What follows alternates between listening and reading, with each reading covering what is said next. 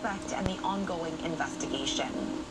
A 61-year-old man wanted for the attempted murder of a teenager in Baltimore turns himself in.